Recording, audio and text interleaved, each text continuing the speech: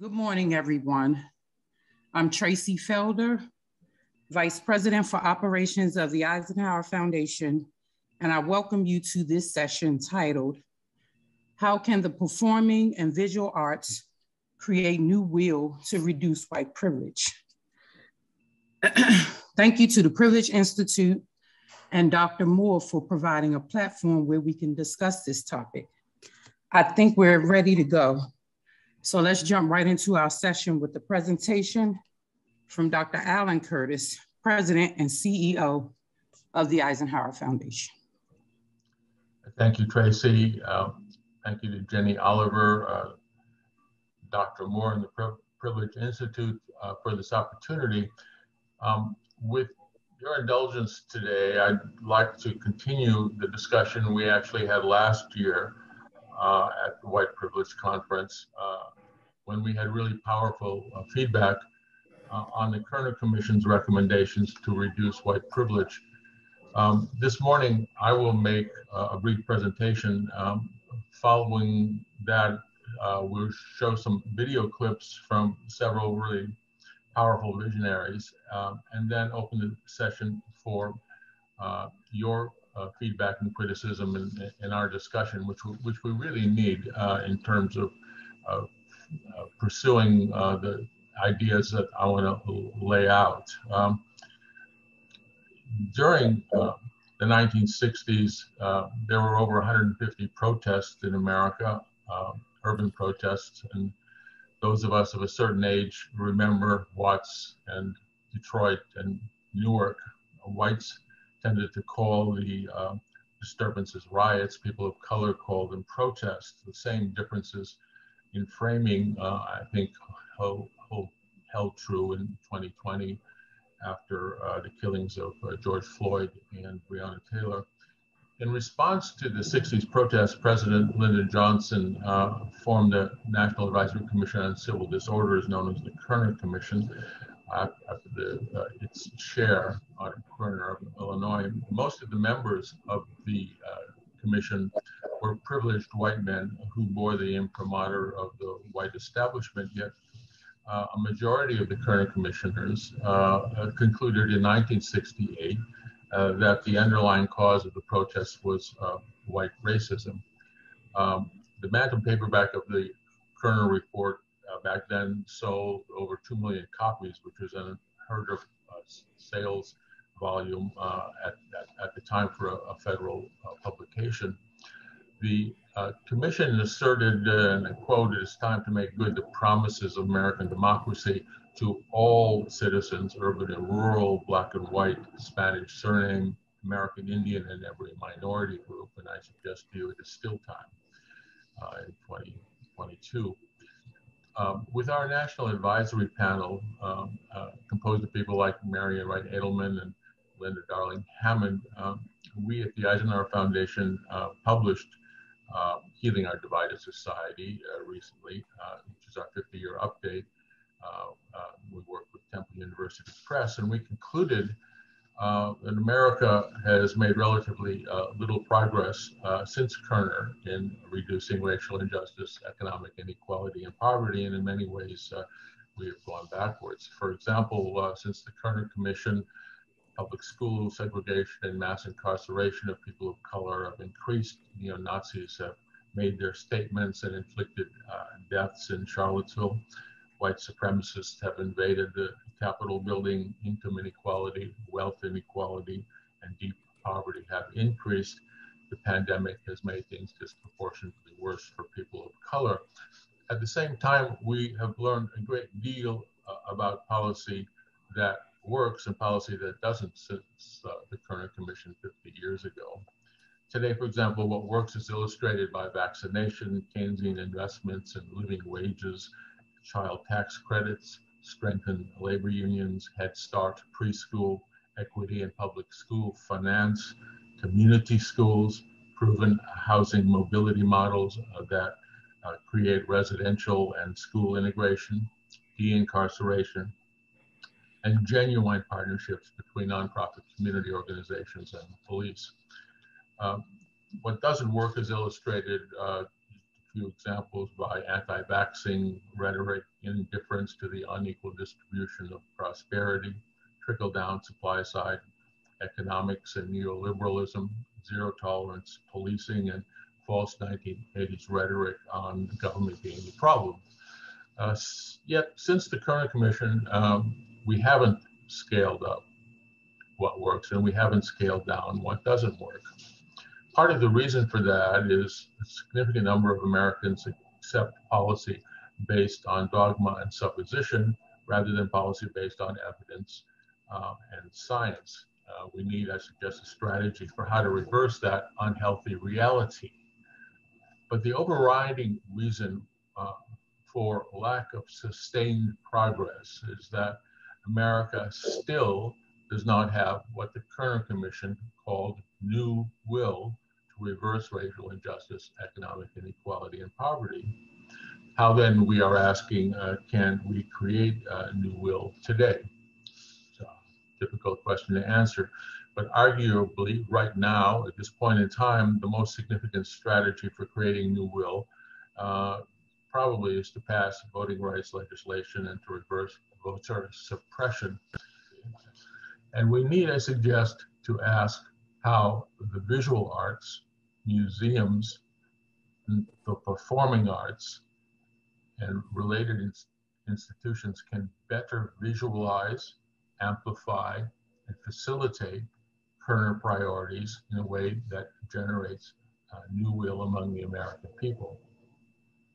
What has our foundation found this past year in virtual events that have uh, explored Kerner, the arts, culture, and new will? That's really the essence of our session today. When I want to recall some of the events we've had uh, that build up to today. Uh, one of our first events was a panel with directors of the Smithsonian Institution's African American, Latino, American Indian museums uh, in Washington. Um, the directors, the Smithsonian directors, were really enthusiastic about uh, Kerner and, and healing, and they said it was important for prestigious national cultural institutions to target significant resources in generating will. Uh, they said that they really had no choice but to be activists and engaged during the present moment of American and world history. Through the Smithsonian Reckoning Initiative, which is called Our Shared Future, the Smithsonian Museum directors are reaching out to work with museums at the grassroots. It was pointed out to us uh, by the Smithsonian folks that uh, there are more local museums and related institutions in America than McDonald's and Starbucks combined. We, we then, following the Smithsonian uh, event, we held a, a Kerner event that included activist artists and activist art gallery directors. The events uh, also the event also included the director of the Museum of Modern Art in New York, MoMA, uh, the director of the Metropolitan Museum of Art in New York, and the director of the Boston Fine Arts uh, Museum. All of these were senior white men, uh, and uh, these uh, three uh, museum directors thought it was asking too much for traditional art museums to create new will, though they did think that tra traditional art museums could create catalytic platform for artists. However, another panelist, uh, activist artist Hank Willis Thomas, disagreed with the museum directors. He advocated policy more in sync with the advocacy of the Smithsonian directors. Mr. Thomas discussed For Freedoms, uh, his artist run nonprofit organization. For Freedoms works to communicate how money, power, art, commerce, and education, as well as the public sector, interrelate. The For Freedoms organization has collaborated with artists in, in all the states uh, to create activist public art billboards along highways and exhibitions uh, that are related to the billboards uh, that cover issues like voting rights, campaign finance reform, gun control, racism, gender equality, uh, and freedom of expression. Uh, his uh, Make America Great public art billboard uh, was shown at the Museum of uh, Modern Art in New York. Um, construction of such public art billboards in locations across the country frequently is timed uh, uh by Hank uh, with town meetings uh, nearby the billboards and related events to discuss public policy issues featured on the billboards. Mr. Thomas uh, stressed that people who have the income to influence public policy often have the income to shape art, and much of that income is based on commerce. He believes that the perpetual mission of museums really should be to sustain meaningful public policy change. So there was a real interesting dialogue between the museum directors and the artists. And uh, we want to show you now uh, more about what uh, the artist, Hank Willis Thomas, said during our event.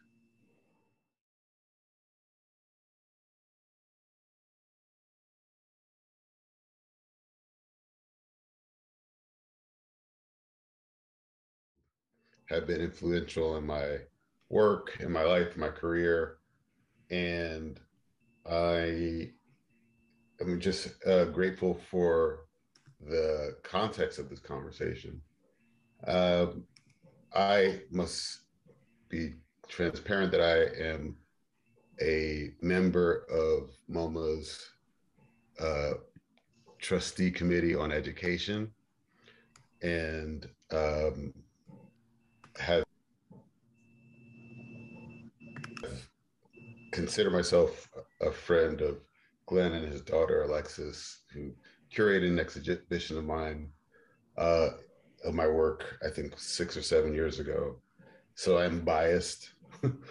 um, Pamela Joyner has been, I think, one of the most game changing art collectors in uh, this century. And uh, Nicola has been one of my biggest advocates and supporters and has also also been an incredible game changer through her uh, consulting and uh, mentoring of artists. Um, I have to say that I fundamentally disagree with the three museum directors, though. um, and I have to start with the background of my mother's MoMA uh, membership card in 1979. I know for a fact if it weren't for that uh, acceptance and the education that she got as a young African American woman uh, artist uh, that I wouldn't be here, and by default, we wouldn't be here. um, my mother was, uh, her name is Deborah Willis. She's a curator, art historian who worked at Schomburg Center for Researching Art and Black Culture uh, for uh, two, almost two decades uh, after which she worked at what was then called the African American Museum Project at the Smithsonian, which we now refer to as the National Museum of African American History and Culture. And so I grew up actually in these institutions, um, actually in the archives, understanding uh, the power of art to change and shape society. And I believe that all art is political. I don't believe it has to look political to be political. Ellsworth Kelly uh, is a political artist in my in, in my position and um, for my position. Uh, but I also had experiences at uh, at the at the Met uh, where there was Kerry James Marshall's Mastry exhibition, which uh, was groundbreaking and I would say earth shattering for eh, the art for the art world, but also especially the art market, which is highly political when a black artist who's living can sell a painting for over $20 million that does reshape the way in which we understand the value of images of black people and the work of black artists.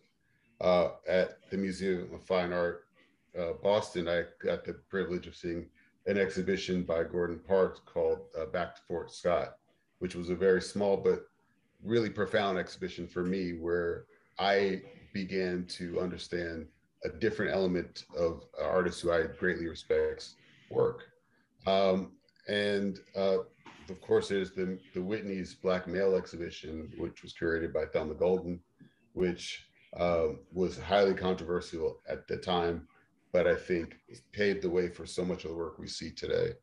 Um, and when it comes bringing it back to MoMA, I, I had the privilege with my collaboration for freedoms in uh, when was that? In 2017 in 2016 we put up this billboard in mississippi that said make america great again.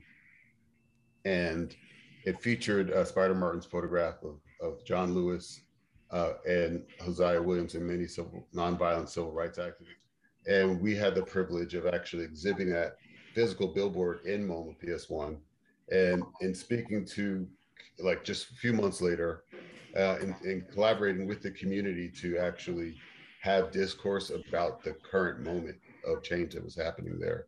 Uh, and one of the things that I learned in that experience was the way in which MoMA proselytized for modern art under the leadership of Alfred Barr um, and sending out and loaning out exhibitions to, you know, Grand Rapids, Missouri and Lawrence, Kansas, um, and all of these museums that learned about what we now consider the canon of modern art through the activism and uh, I would say in the um, um, evangelism of uh, New York curators.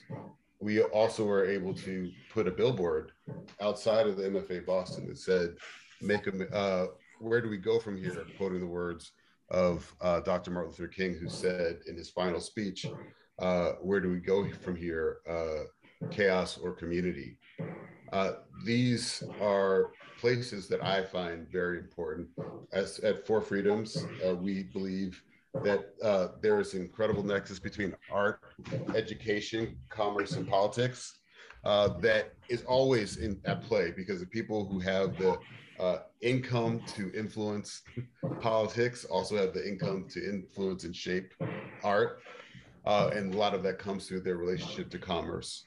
Um, uh, and so and, and education of course. So i believe that not only are the museums catalysts and crucibles uh, i believe that they do change the world. I believe that you all are incredibly powerful people and i just gave you just a few examples a way in which i think that work that has happened under your tenure has changed the lives of several million people uh, I can't tell you what it was like for me as a young black man growing up in the Upper West Side of New York, going to the, to, to the Met and seeing virtually no images in the 1980s of African Americans. Um, and there's one problem I still have with the Met, which is that Egypt is not considered part of Africa.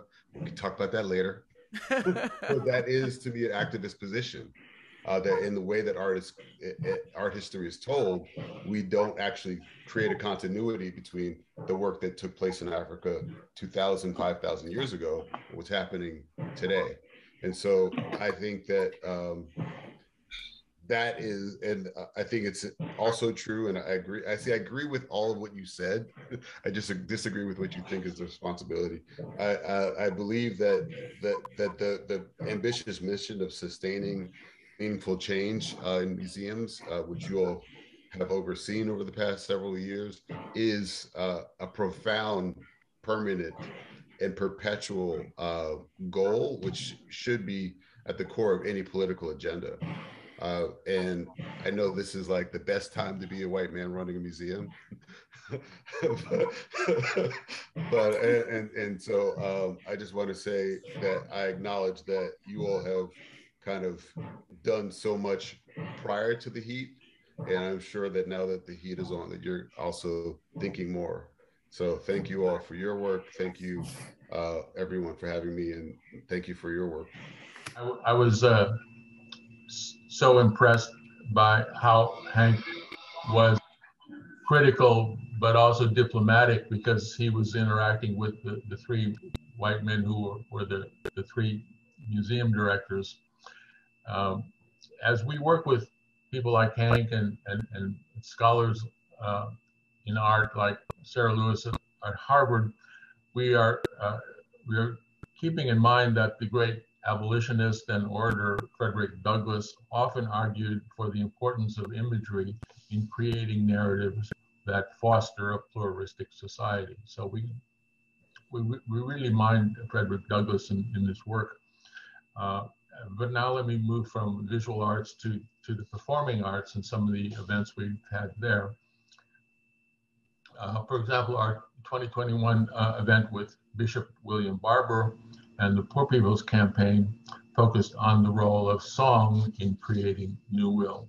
Uh, here is uh, some of what uh, Bishop Barber said about the importance of music in his moral fusion movement uh, with the Poor People's Campaign.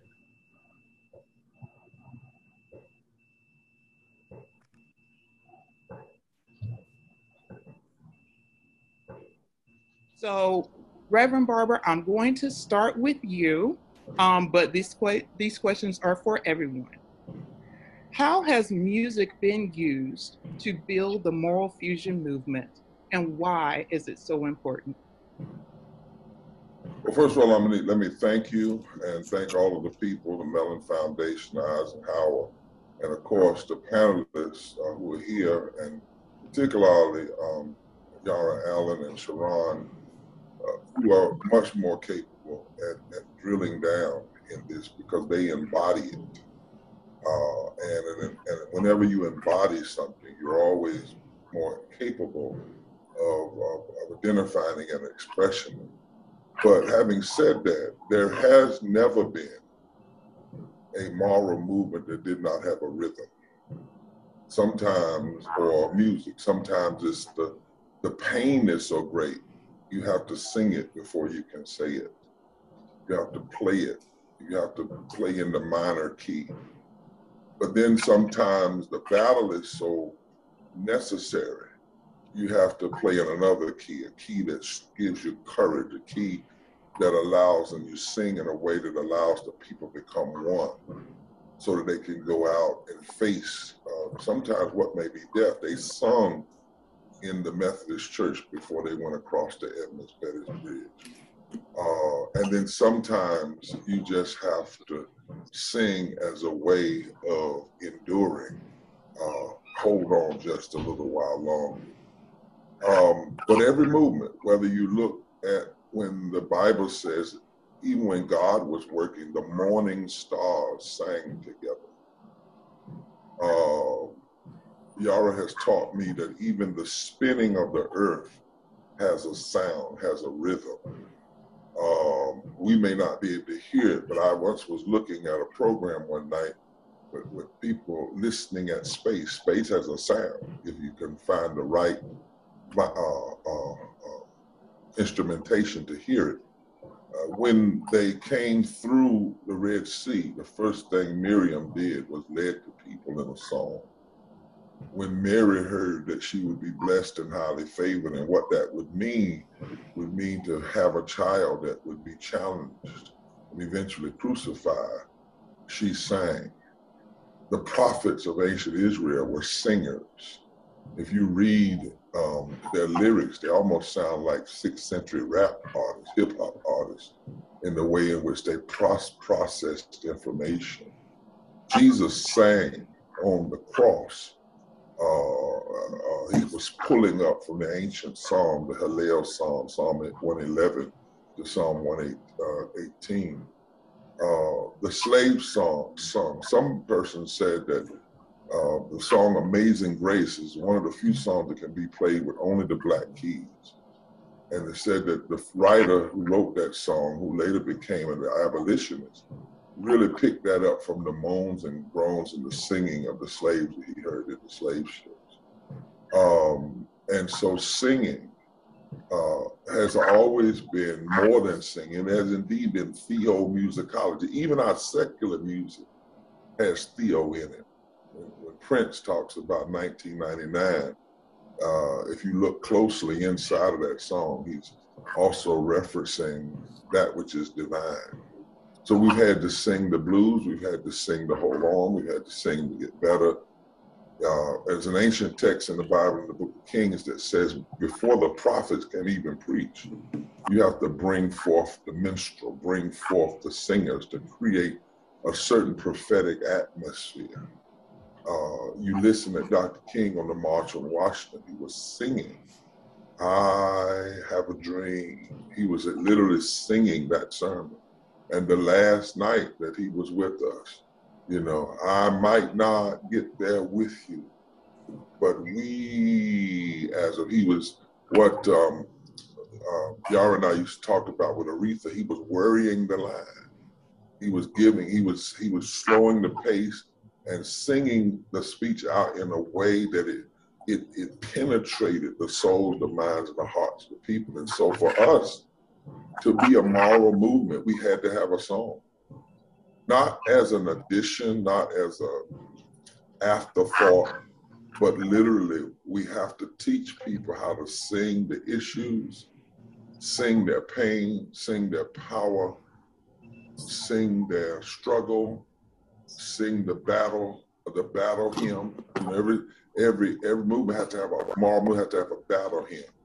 We won't be silent anymore. Somebody's hurting uh, but we won't be silent anymore. Keep your eyes on the prize and hold on. Battle hymn. Before I be a slave, I'll be buried in my great battle hymns. Battle hymns. Uh, when you're going to take up nonviolent action, you don't have the weapons of the world. You have the weapons of a spiritual warfare that are not carnal, but they are mighty.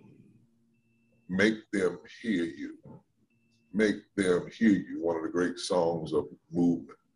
And so, in every way, um, I don't know of any place in history where you attempt to have a moral movement that is going to focus on love, justice, truth, liberation that does not make you want to sing. That does not make you want to move in rhythm that does not make you want to carry a tune, that does not make you want to hold arms and lock hands with other people and sing until the very walls of oppression tremble because they cannot understand how, in the face of such aggression and oppression, we can still sing. Amen. Nobody. No.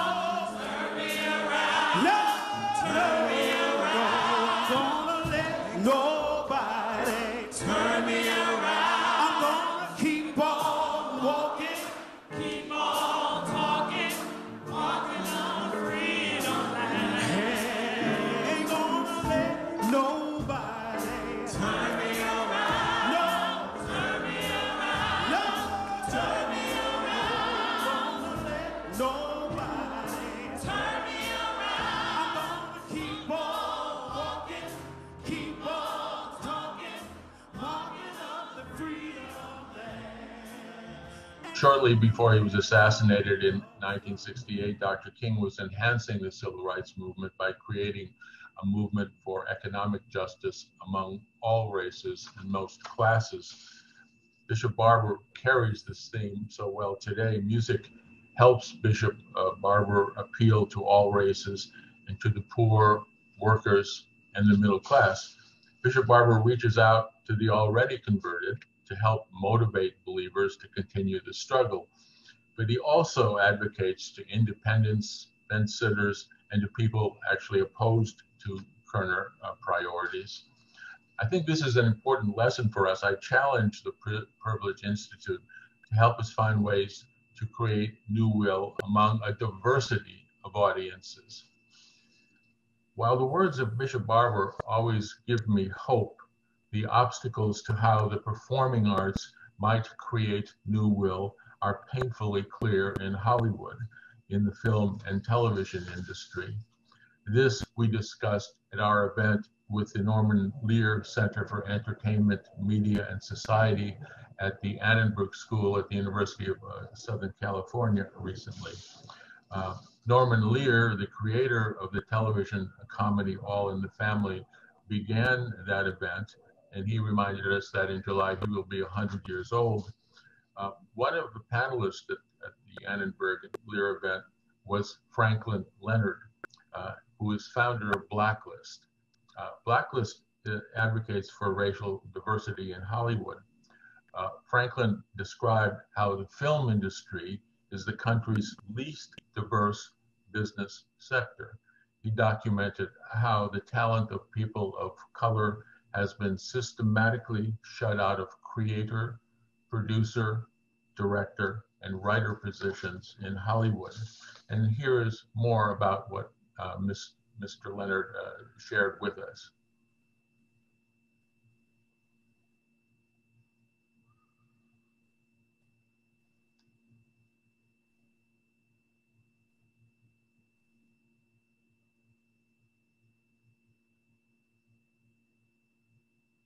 But I actually don't think it's it's reasonable for us to judge the industry by the standard of 1965. I think the, the standard we have to judge the industry by is how it compares to other industries and how they've changed in America over the last 50 years. I think it is the most damning sort of statistic about Hollywood is that these the least diverse business sector in American business. It is less diverse than finance. It is less diverse than oil and gas. Um, wow. And when you think about sort of that in the context of everything else, you know, I, I go back to um, this quote by this that's often misattributed to Plato, but it's actually from like a 17th century poet uh, named Andrew Fletcher. Let me write the songs of a nation, and who will may make the laws. Right. And obviously, when he says songs, what he's talking about is the thing that is the lingua franca of culture and industry. It's not just songs. In our case, in 2022, it's movies and television. It's the stuff that most people consume. And it's not surprising to me that when you have the least diverse sector in American business writing the country's songs, and in so doing, writing the world's songs because of the nature of the way Hollywood exports these stories around the world, that you end up with a world that looks a lot like the world that we live in now. Because those are the stories that we continue to tell, because those are the people that continue to choose what stories are being told. I also just going back to that McKinsey study for a second and sort of some a comment that Kenya made earlier about sort of the value of Black life and the value of Black stories. McKinsey put it in very clear terms. If you have a movie with a Black lead, you will get 24% less production budget on average. Mm-hmm. Right? If you have a movie with two or more Black off screen principals, producer, director, writer, so a Black story, you will get 40% less of a budget. That's just for the budget. And then you'll get less on marketing and distribution as well, roughly 10 to 15% depending. Despite that, dollar for dollar, Black films make better ROI than so called white films. We outperform in international territories, despite the fact that people assume you can't sell Black right. films abroad on average. And I only just noticed this now, perhaps because we're talking about it in a sort of historical context, but what we're really talking about is Black movies get 60% of what white movies get to make them, which is very ironically three fifths. And I know that makes me sound like a conspiracy theorist, but we're going to talk about the value of Black lives and Black stories. That rough 60% number seems to have echoes throughout history. I personally don't care if a bunch of white dudes decide they want to make a TV show.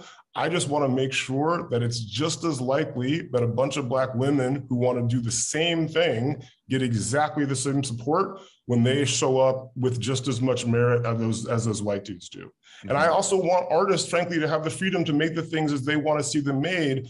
I just don't think that the companies that are deciding what gets made and by whom are doing a great job in solving the problem. And in many ways, these policies lay off the blame on the creators when it actually is with the system. And the fact of the matter is, I came to Hollywood because I want to make as much good film and television as humanly possible. And the only way we get there as a culture is by solving the problem of diversity. And it's notably also the fastest way we can make better stuff that has better business outcomes is to make sure that the people who are deciding what gets made and are making it actually look like the people who are consuming it, and they never have.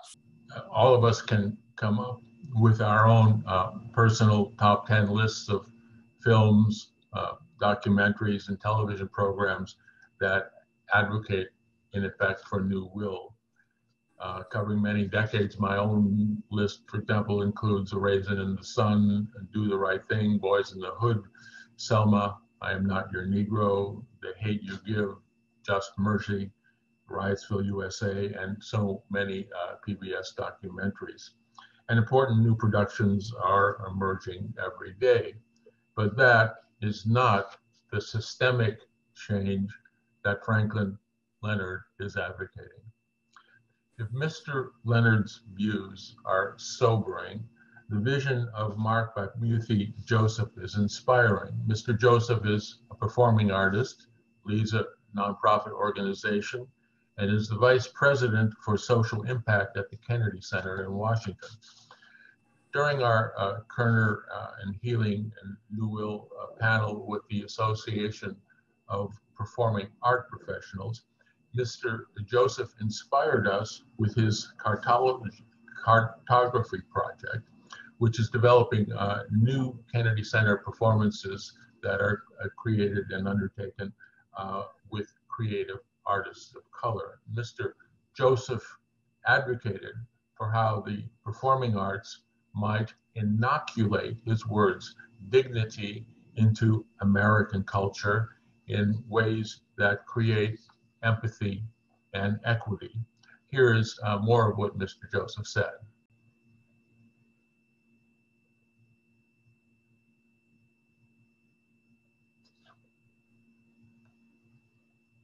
There's so much happening here. And um, what I'll add is um, I, um, like Roberta, uh, like Lisa, am, am working in at least five different avenues, um, five different channels. Um, I am um, the vice president and artistic director of social impact at the Kennedy Center. So I I do have um, in institutional perch. Um, it, it's uh, it's interesting working at an institution that has a federal adjacency uh, and working in this sector in that way.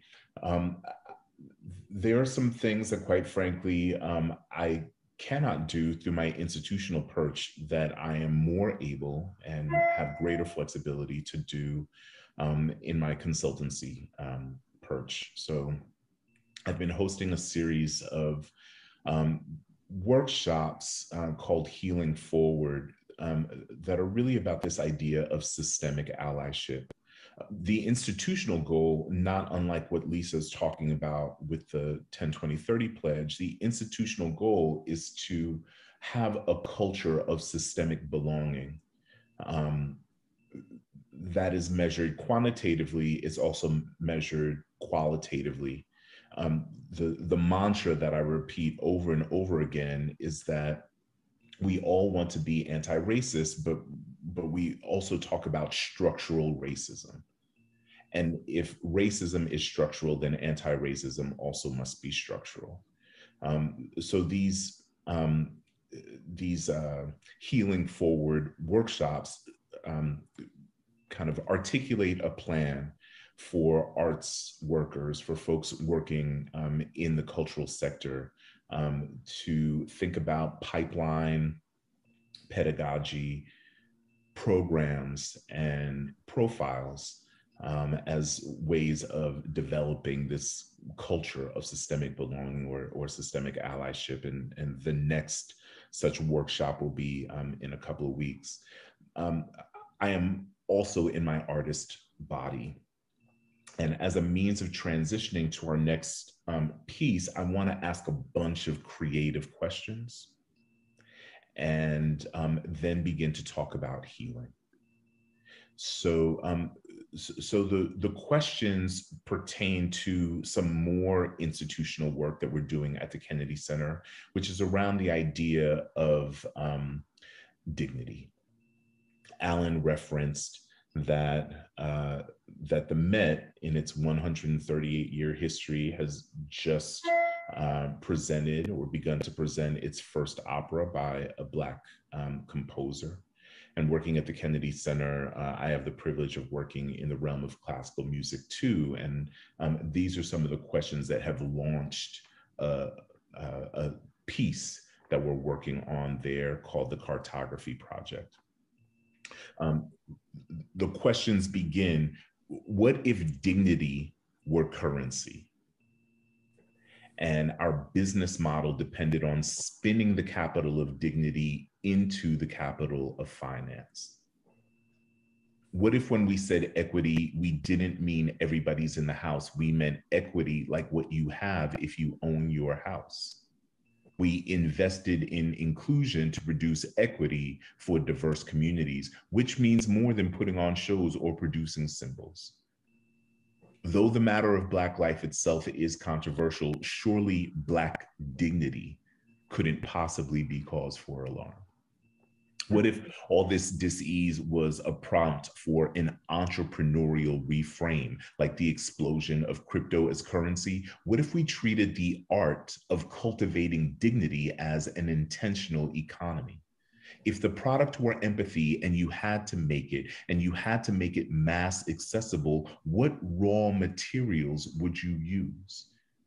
What if dignity were currency and the raw material to make it was culture? What if you worked at a cultural mint and you printed white walls and bright lights and the aesthetic sublime 80% of the time, but 20% of every dime was spent minting cultural equity for the historically left behind? Equity not like proportional balance, equity like profit on your P&L balance. Who in this country is manufacturing empathy? Just a little bit. And in the end, wouldn't we all benefit? What if dignity were medicine, were a vaccine, and the public and private sector teamed up to invest in our collective healing? And our country's cultural mints were the place where anybody could get pricked with the sharp edge of culture, a chemical boost included us all, because we've just learned that if I'm healthy and you're sick, I'm at risk. Why risk emerging from this moment in a culturally unhealthy way? Why put a cultural inflection point to waste? What if the product were collective healing and in order to do it, we had to practice more cooperative economics, except no one would buy it if it wasn't fly. So to heal, we had to invest in artists invested in their individual projects, but used artist intellect to mass produce dignity and put as much equity in it as you would a non fungible token of a digital object. We make value. Diversity is not a stock to be left alone to accrue. Diversity is a paper thin bill that you got to keep stacking or else you're not serious. What if you were making a city? My friend Deborah Cullinan always asks, How many great artists does it take to make a great city? How many artists does it take to make America great? If you had equity stakes in empathy, who would you invest in first? In the ecosystem of cultural production, what if we all win? If we all win, what if we didn't all have to win? We just all remembered when the world was sick and collective healing was something we were all invested in? What if nobody got left behind? What if we healed forward cardinal directions, truth, dimension, humanity, access, latitudes of public imagination, longitudinal public policy, XYZ axis? Access the ancestors, call their names, map the future, collective dignity, the moral compass, invest in the road forward, use culture as brick, and walk the walk. Was very much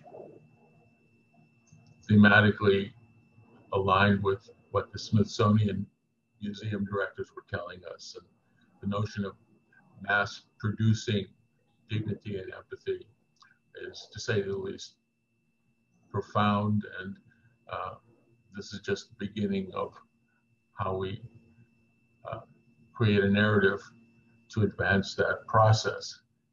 And we could probably spend the next three hours uh, discussing what Marc has just said.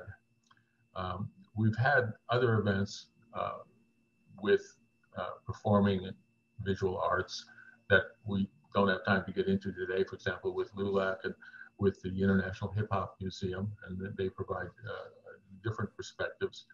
Uh, and now the, the Eisenhower Foundation is, is planning to, to try to bring uh, the visionaries uh, like Marc, uh, like Franklin Leonard, uh, like Hank, like Bishop Barber, like Sarah Lewis at, at, Harvard, and the Smithsonian directors together to, to, to essentially proceed in the direction that Marc has been talking about, but to try to collaborate uh, nationally uh, to uh, create a movement that brings all of their brilliance uh, together and moves forward. Uh, what can we achieve? We're not sure yet. Uh, we believe that the visual and performing arts, at the least, can be a significant force for racial diversity for voters' rights and against voter suppression. But how far can we extend beyond that? Uh, we really, really need your feedback and ideas then on, on the potential of the visual and the performing arts and of museum culture in, in creating new will and in furthering the priorities of the Kerner commission at a point in time uh, when American democracy is so threatened and so divided the creation uh, of new will in America seems daunting, I ask you finally today to be inspired by the national will being shown by the people of Ukraine. The arts embolden, the arts inspire. And so, in harmony with our theme uh, this morning, it was moving to me earlier this week when the great cellist Yo-Yo Ma protested outside the Russian embassy in Washington by playing the Ukrainian national anthem. Thank you for your uh, time, and I turn this back over to Tracy now. Thank you, Alan, uh, for that presentation. So what we want to do at this point is have our question and answer portion you can feel free to submit questions through the chat. But if you'd like to just ask your question on screen, we also, you know, would like to have that dialogue as well. So whichever you see fit for yourself, feel free. Hi, my name is Julianne and I'm joining from Berkeley, California. And I'm outside Hi. on my front porch. Hi. but I, I'm just so happy to be here with the small room that we have, and that was a great. Um, I really appreciated all the different ways that you showed people talking about how they're doing that work. And I, um, I'm a arts educator at uh, elementary school in Berkeley, called the Berkeley School, and um, I just got to go to the National Art Education Association conference in New York City, which was last week, and um, Hank spoke there too. Um, but I've been working with the For Freedoms group for uh, about two and a half years right now, also, and working with my young students on um, connecting civic engagement with what they can do to help, like voter registration, even as a kindergartner, and how can you help people, um, help your family understand how important it is that voting is one of our civic rights. So I just, um, I have a lot more people to look up now that you shared those. I really appreciate being here. And, um, you know, even if I can't be in, in uh, live with all you, I'm very happy to be here right now. So thank you so much. I appreciate that, that feedback. Um, we, still are trying to figure out how far we, we can go with this. And we, we advocating for diversity in Hollywood, advocating for voter rights are easy, and, and maybe that's that's all. Uh, but when you start listening to Marc, Joseph, then you, you get into something that's more profound. How, how you take what Marc Joseph said and uh, operationalize it, we don't know. I, would be, I'd, I'd, be interested in, in, in, your ideas for, for how to, to actually make it happen every day.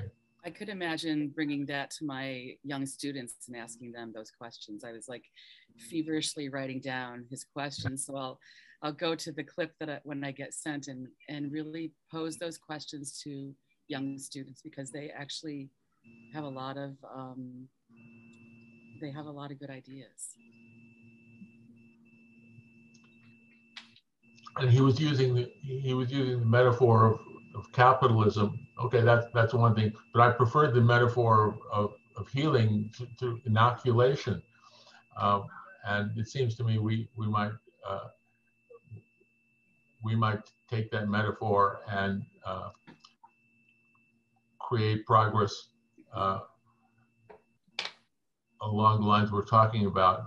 I, I don't know if, if we can actually get all these visionaries to collaborate on focused projects. And I think that to me is another another big issue. Like I know Hank and Sarah Lewis are big friends with each other, and Hank is the biggest collaborator I've ever known to be, bring just all kinds of people together, and his generosity of spirit is is incredible. Yeah, he really is inspiring, and uh, we'll, we'll be working with Sarah.